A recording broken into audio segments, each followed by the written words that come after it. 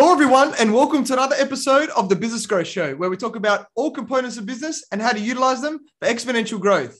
My name is Athin Cassiotis. I'm a serial entrepreneur, international speaker, result strategist, business coach, mentor, and consultant.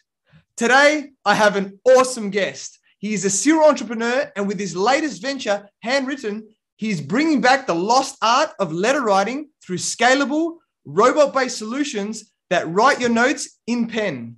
Developed as a platform, Handwrytten lets you send notes from your CRM system, such as Salesforce, the website, apps, or through custom integration.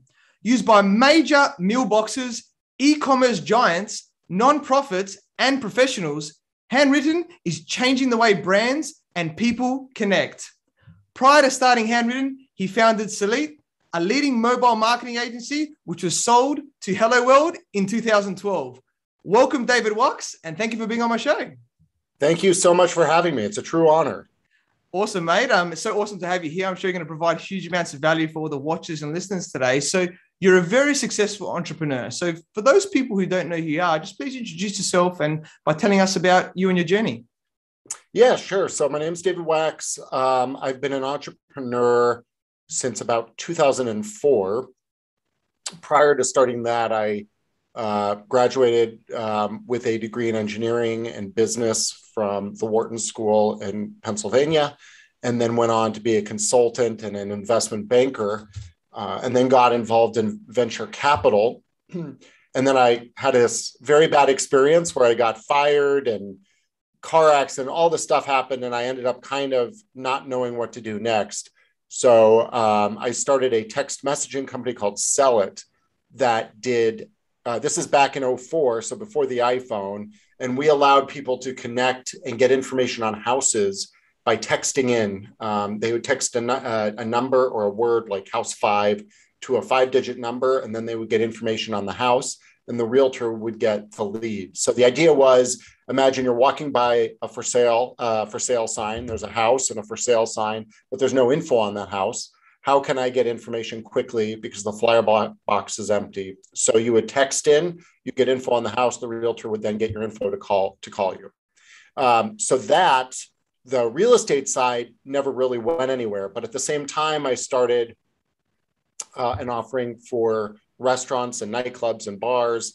Um, and that ended up being used by major retailers, Abercrombie and Fitch, Toys R Us, Sam's Club, a division of Walmart um, Office Max, the list goes on. So we were doing millions of text messages a day for major retailers on t- and then we worked with auto trader and a bunch of other brands as well um, in 2008 i sold that company to HelloWorld or sorry 2010 i sold that company to HelloWorld and then i had to work with them for two years um, and then when that was up I was a free man, didn't know what to do again. And uh, what I had realized is I was a kind of a part of the problem. The world had changed a lot over there over those uh, eight years that since when I sold Cellit, uh, started Cellit, uh, leaving it. And in that time, people were now inundated with electronic communication. So they'd get 140 emails a day. They'd get 60 text messages a day. Uh, then you're adding things like Slack and Twitter and Telegram and Facebook messages and all these other forms of communication on top of it. And it all just becomes noise. So, what I wanted to do was figure out a way to break through that noise. And I noticed that when I received a handwritten note, I would always not only read it, I would treasure it, I would keep it, and I would put it on display. And then I'd walk around to my other employees on my last company's job at my last company's office and I'd see the handwritten, handwritten notes they received put on display. So I thought there has to be a way to automate this so that I can make it appear as if I hand wrote notes to all my customers, clients, contacts. But being a lazy 30 something, um, I wouldn't actually have to do it. And that, that's how I started Handwrytten. Um, so, what Handwrytten is, it's a combination of software and robotic technology. On the, on the inbound, you know, people go to our website and they um, enter who they want to send a handwritten note to, or they use our face our integrations for uh, Salesforce or whatever else. And then we use robots to convert that into a very authentic looking handwritten note that's written in ballpoint pen. We've got 140 some odd robots now. It's a patent pen, it's a patented uh, robot that we build here in our facility in Phoenix, Arizona. The robot holds the real pen, and we do it uh, 150,000 notes a month currently. So um, it's it's grown quite nicely over the last few years, and I've been doing that since uh, 2012. Amazing! What an amazing story! I love that. And um, you know, let's start. I'm sorry, with... 2014. My dates are all off. Uh, it's a bit it's a bit silly. 2014, I started the company. 2014, all good, mate. Um, you know, I'm sure once you being a serial entrepreneur like yourself, the dates sort of mix in when you've been the doing dates, it for a while. It all blurs, and I have two young kids at home, so everything blurs quite uh, quite rapidly. That's all right. Well, um, time flies when you're having fun a lot of the time, as they say. So I'm sure you've been yeah. enjoying the journey as well along that. So um, that's really awesome. And you know, you, you know, it's a big feat to sell a company, right? And you sold Cellit, you know, after scaling it for eight years, as you said, and you know, it was recognized as you know one of the top 500 faster growing companies in, in America, right? So you know, very successful to do that. Not a lot of people, you know, do that. So what I'd just like to hear initially is, you know, what key learnings did you take from the experience of scaling it and selling it that you can share, you know, with everybody listening? You know, in both ventures, in both Cellit and Handwrytten, we never really took any funding. We had one investor in Cellit, um, and we had a disagreement of what we should use the money for. She came from the real estate space. She literally wanted me to use the money, I'm not joking, to buy more candy for our booth at the real estate trade shows. She wanted me to spend more on these realtors that didn't convert into real money. I wanted to use that money for Google ads, which saw a huge uh, potential. I mean, we got Marie Claire magazine from a Google ad very early on and, and some very, very large clients from these Google ads. And I wanted to use the money for that. So I quickly refunded the money and I grew profitably and slowly. And, you know, is that the right solution? For me and my personality, yes, because I don't like reporting to other people. For other people, maybe not. But what I learned by doing that is how to grow profitably, how not to overextend, how to incent people to work with maybe not a huge paycheck, but bonuses at the end, performance bonuses at the end of the year, those types of things, um, and how to really multitask. In, in, the beginning, I was both the programmer and the first sales guy and the first marketing guy. And then we kind of split it up. With Handwrytten, excuse me, while I wrote the the code that actually runs the robots, I outsourced a bunch of the programming overseas um, and have kind of taken advantage of discrepancy in uh, in salaries, you know, using outsourced labor there. And I and it, at least early on, it was very much trying to determine what we want to handle in house, what's really core, and what can be outsourced. I felt the development of the robot writing technology and the, the robot itself, that was core. But developing the coolest website or the coolest iPhone app in the world, that is still a commodity. I mean, those are commodity skills. So I figured those we could outsource and actually grow much faster because I could leverage a whole team of people for the cost it would have. I, you know, for me to have one or two people internally. So that's how we're able to do that. The other lesson, and I actually write about this for Inc. magazine, is, and it was based on some of the mistakes I, I learned in, in Cellit. You want to design your, if you're doing a software business, you want to design your software as a service. And to do that, and what I mean by that is you want to be a platform. You want to not be a website where people go and enter orders or not be an iphone app where people go and enter orders but be everywhere they want to be. If they want salesforce you're in salesforce. If they want zapier and integromat you're in integromat and zapier if they want hubspot if they want shopify you have to be in all these uh, spots at once. And to do that you really have to think about that from day one and how you're going to make your business based on apis which then can translate to all these um, out, outlets versus just being a website. And when I built Cellit, it was a website day one. So all the code was intermingled, the front end and the back end and the logic and the data and all that was intermingled. Um, and when I started Handwrytten, I took this API platform first approach and I said, actually, let's design the iPhone app first. I knew the iPhone app wouldn't be the big way of sending handwritten notes. I knew it would be the website because you could bulk upload. But I said, let's do the iPhone app first because that forces the developers to separate out the logic, the API, from the front end. Where if I had them design a website first, they could have easily made a sloppy website where it would be hard to add an iPhone app after, it'd be hard to add an Android app, all these things.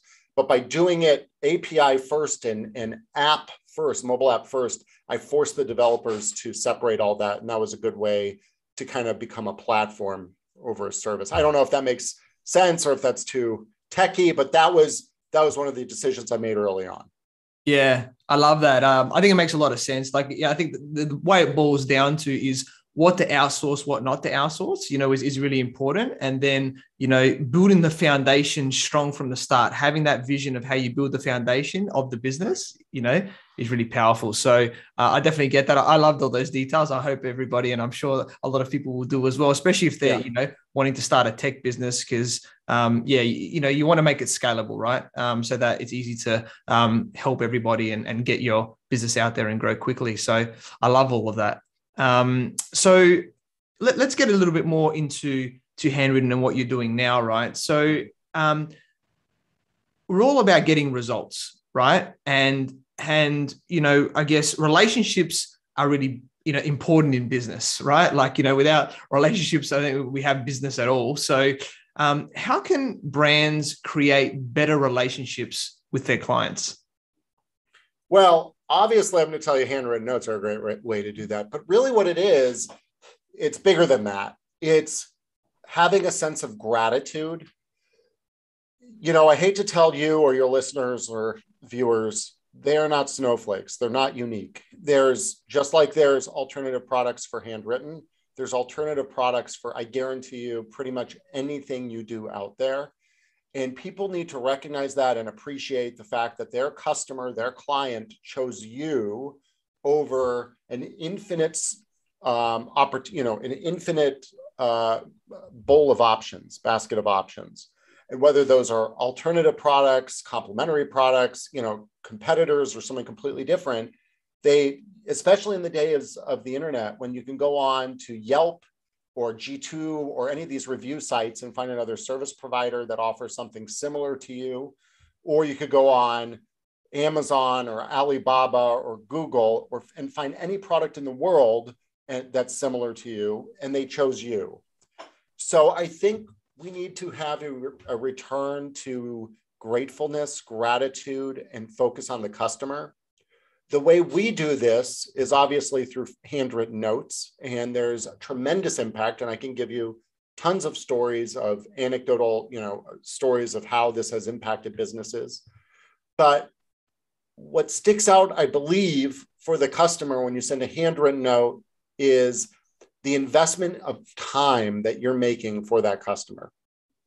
Because a handwritten note requires you or somebody to sit down for three to five minutes and craft a note completely focused. You can't have your phone going off. You can't be listening uh, uh, on a phone call because you'll screw it up. You have to be totally focused on that customer for three to five minutes. And I think people really appreciate that because in this day and age of Microsoft Teams and Slack and text messages and everything else, nobody has any devoted focus time anymore. Everybody is ADHD all the time. So I really think having that gratitude for the customer and doing things like handwritten notes, customer um, appreciation days, having special sales, early access events, um, even just picking up the phone and calling your top customers, not to sell them anything, just to to express thanks um, and you know garner feedback on what you can do better. I think these are all great ways of differentiating from the competition who is absolutely not doing this and really stand out and build customers for life. Um, I could give you one quick example. We work with a, a snack box. This snack box company sends boxes of office snacks to offices all around the United States. You know, it's got granola bars and beef jerky and all the rest. And um, what they find is if they accidentally screw up your subscription box and they don't send it on time or they send you the wrong box, whatever it is, if they send you another box and a handwritten apology saying, We're so sorry for screwing up, um, those customers that receive that screw up box and handwritten note have a higher overall lifetime value to the brand than it had they never been screwed up in the first place. Now, of course, I don't know if that's the extra box of snacks or if it's the handwritten note or both. I think it's both, and certainly the handwritten note plays, but it has a powerful and meaningful effect on their bottom line and the average lifetime value of every customer. So much so that the snack box now intentionally screws up with every customer to intentionally send them a makeup box and raise the value of all their customers across the board. Um, another example, just real quick, we have a, you know, that's kind of a large business. A small business is a piano tuner. A piano tuner only needs to be in your house once a year. He goes in your house, tunes your piano, and leaves. Doesn't see see you for a year. But he set up an automation with us where, after he has marked you as meeting with you, our system automatically sends you a handwritten thank you for allowing us for allowing him in your home to tune your piano. When he goes back to your house a year later, that handwritten note is often standing up on the top of the piano. Not only was it read, not only was it kept, it was kept on their most prized possession, the piano in the house. I can't think of a time when I've kept an email that long.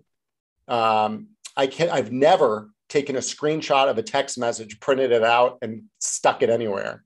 But handwritten notes are very unique in their personal, their the personal touch that they provide, and um, it's something we're really trying to help customers with. Yeah, I love that. Amazing stories, and and you're so true. I still remember with my parents at home seeing all little handwritten, like whether they're birthday things or other things like that. People do it, right? And you know, why not have it in business? It just makes so much sense. So I love, I love those stories, and so interesting with the lifetime value and that everything, how it's you know really linked to it. That's that's really powerful. Um, and I guess it's interesting because you know we're moving more to a digital world, right? Um, yeah. So um, let's talk a little bit about this and, and about digital communication and things like that. So, um, what are you seeing that people are reacting to most around the digital communication that's happening in the world today? You know, we actually just did a survey of 2,000 um, uh, consumers, unrelated to Handwrytten. They're just 2,000 consumers. We're, we're getting ready to publish the uh, white paper on it um, comparing text messaging, email, voice phone calls, printed cards, and junk mail, I'd call it, and handwritten notes.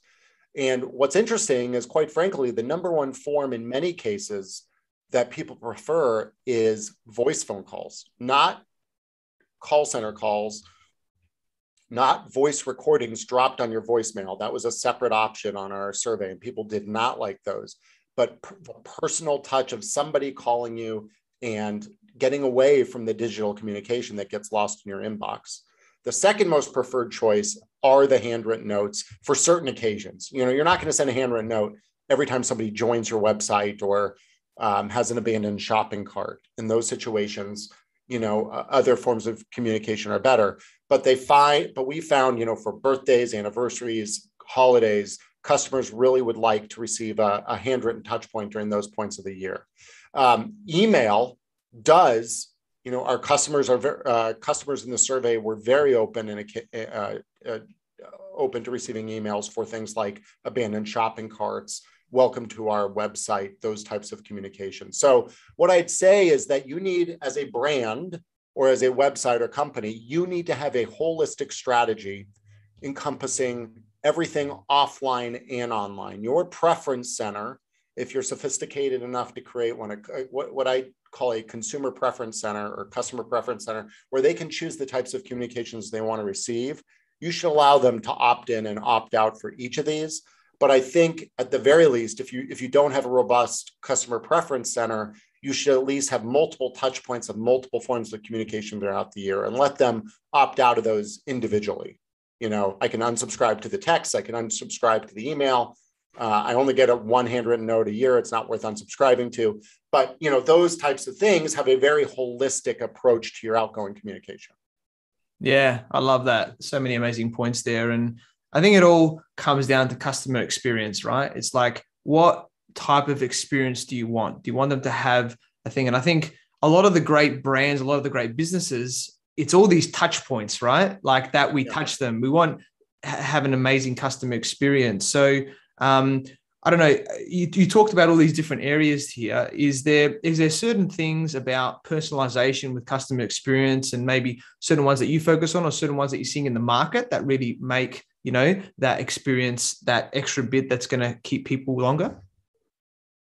I think what it is is the um, what technology gives a brand is a heightened ability to comply with their own internal policies. So what I mean by this if I tell all my salespeople they have to send an actual handwritten note for every customer they sign up, it's just not going to get done. Maybe one out of 10 will get a handwritten note from the salesperson. If I tell the salesperson they should use the handwritten note, the handwritten service that we have here to send out handwritten notes to salespeople, maybe three out of 10 will get it, four out of 10, five out of 10, but certainly not all 10 out of 10. If I automate the handwritten note so that when a deal closes in our CRM system, an automatic handwritten note goes out the door from that sales rep to that, con- that consumer. Then I know 100% of the customers are having a uniform positive experience um, that you can't match otherwise. So, do I think certain forms of, of messaging and personalization are better? Yes, I think it's very dependent on the industry you're in and, and your and the products you sell, that type of thing. But I think more importantly is the compliance aspect and sticking with it and creating uniformity so that when people join your brand, all customers are amazed, not just the lucky ones that you weren't, you know, you had a down day so you could actually sit there and send them handwritten notes. Um, we work with many brands where we only send handwritten notes for the online portion, but then the offline you know if somebody walks in a brick and mortar they don't get a handwritten note.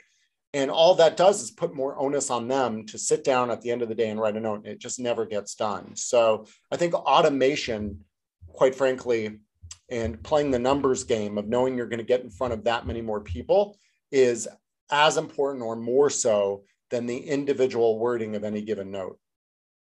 That said we do find that notes that are personalized so it doesn't look automated. So will include the name of the product, the name of the product category they purchased, not the product.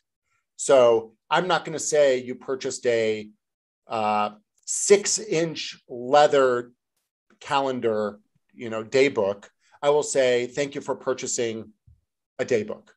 Or if I'm not going to say, you know, stuff along those lines, we, we do that. And then on top of that, we offer a recommendation will say, you know, thanks so much for purchasing this snack. We thought you'd really like this snack, this other snack. And oh, by the way, if you want to give it a shot, here's a coupon for $5 off.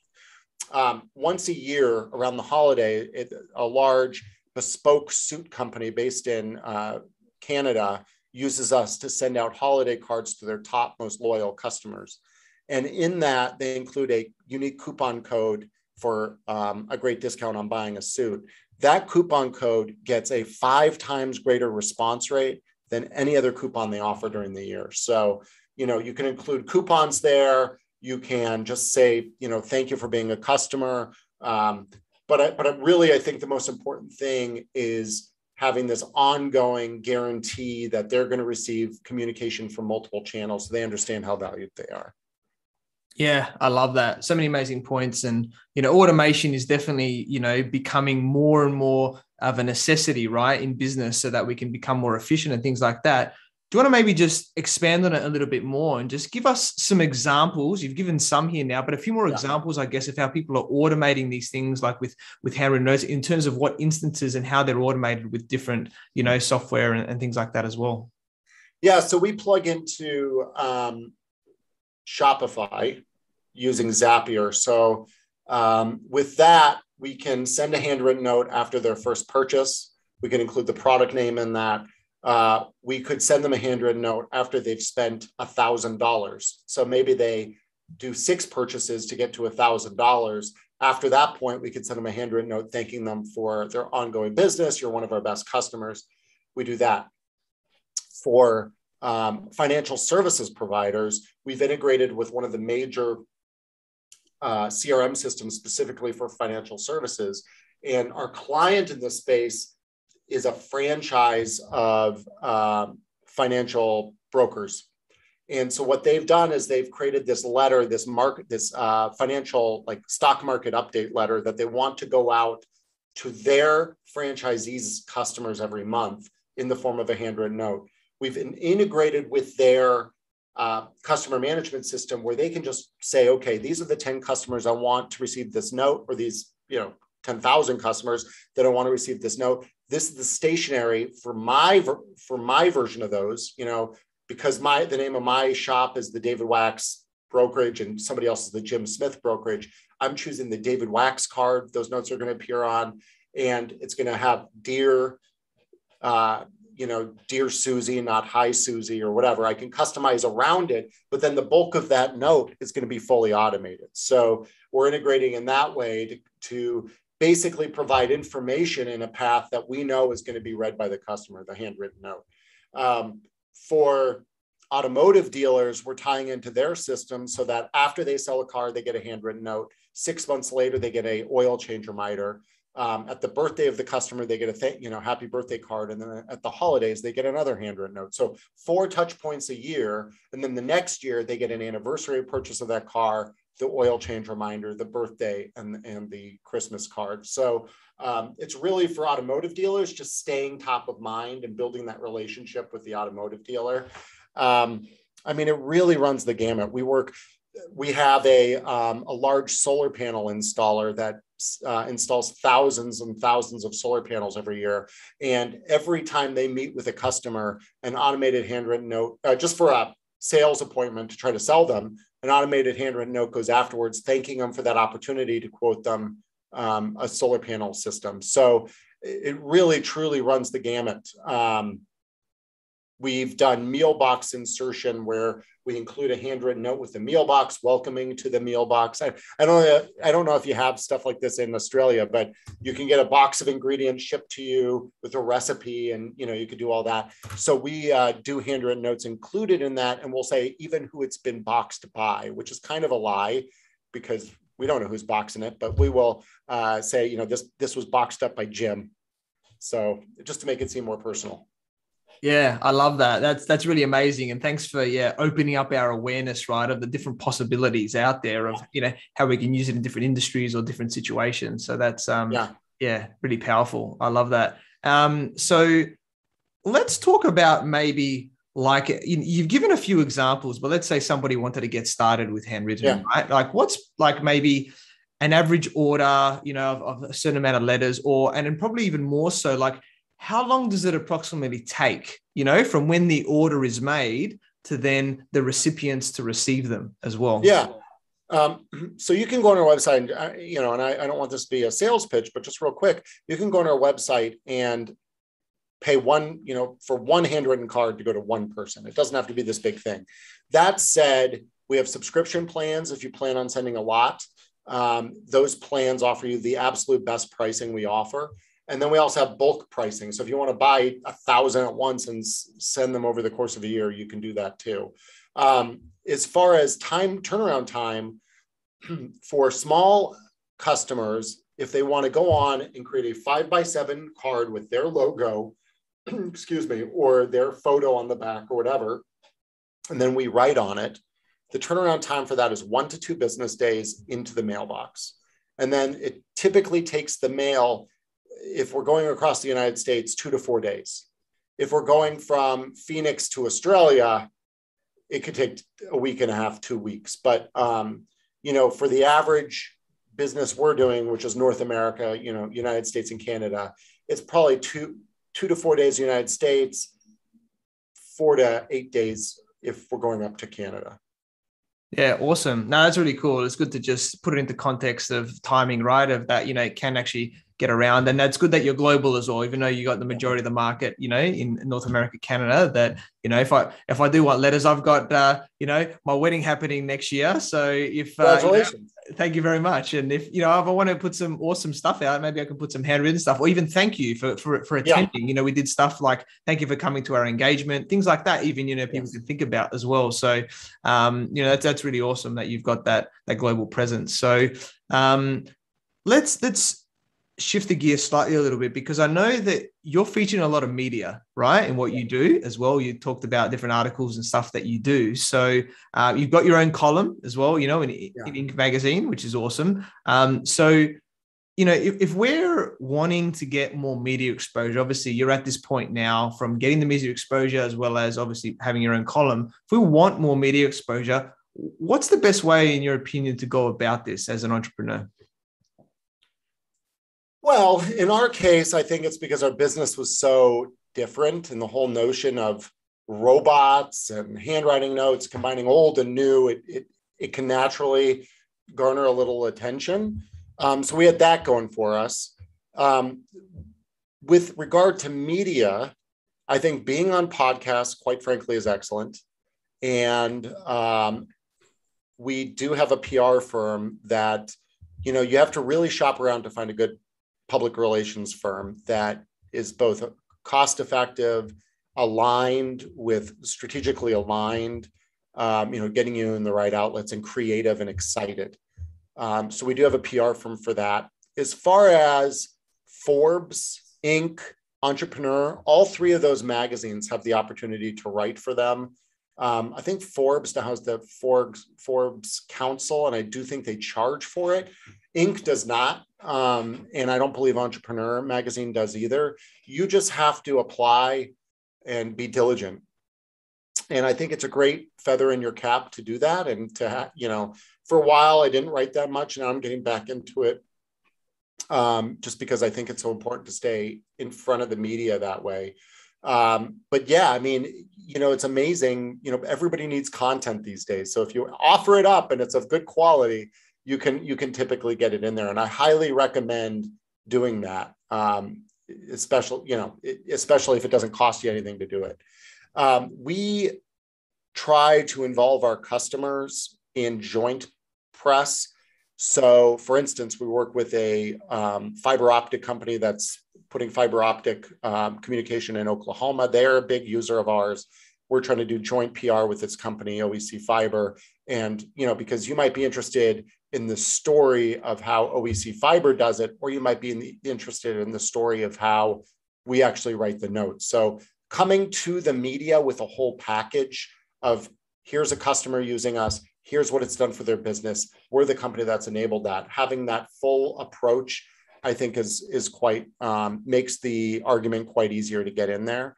And um, yeah, I, I, mean, it's really just been kind of that. Another thing we've been doing a lot, and this really isn't um, anything as far as media, but it just improves our website is daily blogging on your website, daily high quality blogging on your website. We use something called MarketMuse, um, but you know there's a number of um, systems out there that help you uh, make sure you're writing high quality content that's going to get picked up by search engines.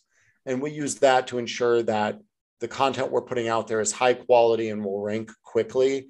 Um, and then you know, so SEO is a really big thing around here because nobody's going to want to interview us if they can't find us. So being able to find us in Google has been has been really great. Yeah, awesome. So many amazing points there. Thank you so much and on all that detail. And um, I'll definitely be looking into that. And and yeah, I, I, love that it's not just weekly blogging; it's like daily blogging and, and using these different mm-hmm. platforms and other things as well. That's really powerful. And um, I guess you know a lot of us don't necessarily like get there and grow and scale by ourselves. Like apart from having, you know, uh, founders and people around us, a lot of the time, you know, we have coaches and mentors and other people to help yeah. us along our journey. So I'd like to hear maybe from you about how important coaching mentoring has been for you in business and, and what it's helped you to achieve as well. Yeah. So um, I'm a part of a, a couple of different groups. I'm a part of something here in, in Arizona called the Genius Network, which is um, actually some of my clients got us got me into it, and it's a group of like-minded people. A uh, bit of an arrogant name, but uh, there's some people in that group that are very powerful, um, and that's been a good way to meet people and kind of bounce ideas. Um, and then there's things like Vistage and YPO, Young Presidents Organization, just ways to bounce ideas. For me, I don't have a mentor per se. I have sounding boards. I have other people that are going through similar things that I can call up and we can mutually complain about how things are going and you know use them as sounding boards and get their ideas but i don't have an elderly mentor in my head that um, that i can really call upon um, some books that have done that the e-myth by michael gerber has been very influential in my own life um, if you've read it very simple book. Basically, you have to find time to work on the business instead of working in the business. I highly recommend that book. The E stands for entrepreneur, not email or anything like that. It's it's E Myth.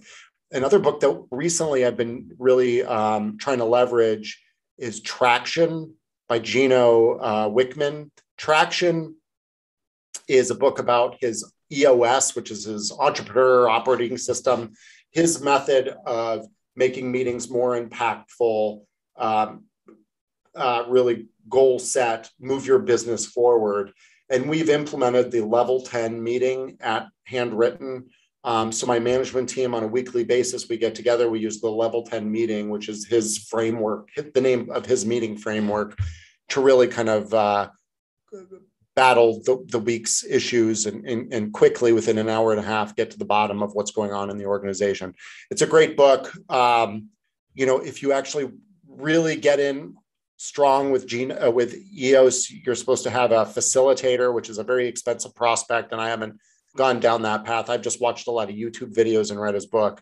Uh, but it's been it's been very very helpful within our organization and, and, and helped keep us all aligned um, we also try to do a number of um, feedback 360 or I guess 180 feedback discussions with our with our team. So just today, for instance, we're running another uh, employee sat survey with our team, just trying to get their feedback and, and suggestions on how to improve things around here from them. So I'm looking. I, I hate to say this, looking down in addition to looking up. You know, I'm looking down to my team members for for their uh, guidance and uh, as well. Yeah, awesome. So many awesome points there, and I guess it shows that there's different ways that we can be mentored by people. Like you said, it can be simply from a book and, and apply these things like that, yeah. or it can be from actual people where we can, whether it's bouncing off ideas or or getting direct, you know, coaching and mentoring stuff like that. So it's a really great realization that, you know, no matter what where you're at in your journey, there's still so much to do. And I actually got traction the book recently. I haven't read it yet, which is hilarious. Yeah. So it's awesome that you mentioned that. So I'll definitely be uh, diving into that very soon. Yeah, we you know in Vistage they talk at least our Vistage chapter. Uh, Vistage is another one of these kind of roundtable groups for business leaders. They they talked a lot about it, and I finally broke down and got it. And um, I wanted to structure. I wanted to structure my management meeting, and honestly, it was one of these things where I'm like, "Here's a structure. Let me apply it." You know, any structure is better than no structure. So I just took the first structure I could find and did it and it's been working out quite well. I have to say, it's a it's a good it's a good framework for running meetings.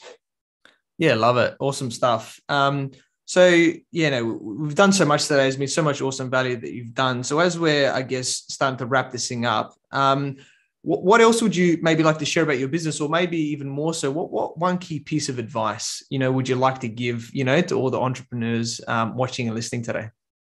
Yeah. So uh, the best advice I ever got uh, on entrepreneurship I got in college, university, is uh, came from Conan O'Brien. We brought him to speak at our at our university.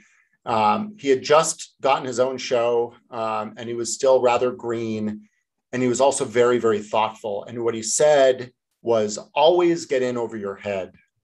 And here I am, 24, 25 years, actually longer, 28 years later still thinking about that advice that I received 28 years ago. And I think getting it over your head, pushing yourself beyond your comfort level, forcing yourself to grow um, is really the path to success for an entrepreneur or for a sports star, any you know athlete, anything else. So um, I think getting always get in over your head is is um, the best advice I could give. The other thing, quite frankly, is the best day to start your next venture is today because tomorrow you're going to be married the next day you're going to have kids you're going to have new responsibility new responsibilities new bills new uh, things tying you down. So the sooner you can do it the sooner you can jump in. And i'm not talking about analysis paralysis and spending months agonizing over the numbers and making sure you have every dot uh, everything dotted and crossed. I'm saying actually do it because so many people also end up with analysis paralysis. So um, yeah, just get in and start it. Yeah, I love that. So many amazing points there. So yeah, we connected through our networks. Uh, learned about your awesome journey from selling Cellit and, um, you know, after scaling it for eight years to more recently founding Handwrytten, you know, where you have brought back the lost art of uh, letter writing, which is amazing. And, you know, you, are changing the game, you know, with, with customer experience, which is awesome. And, um, you know, I'm sure the demand for handwritten letters will continue to increase, you know, in the digital world that, that is growing today. So, you know you're you're an awesome guy david and i'm sure you will continue to innovate you know through business. So i'm very grateful that we connected i look forward to working with you in the future. So how can people find you and get in contact with you?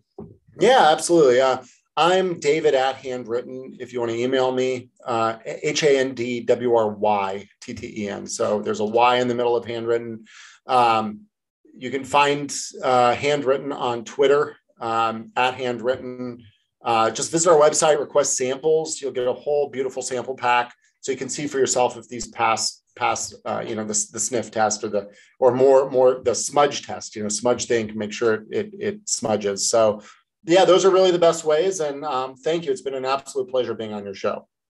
Very welcome, David. Yeah, everybody definitely got to check David out. You want to get those customer experience handwritten out to your your clients and, and everybody else in your life, then it is a must. So Thank you, everyone, for watching and listening to this show where we talk about everything on business growth.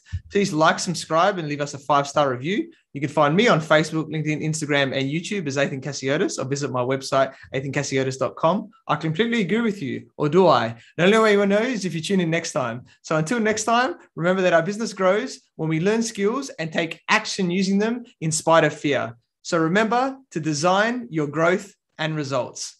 Have a great day.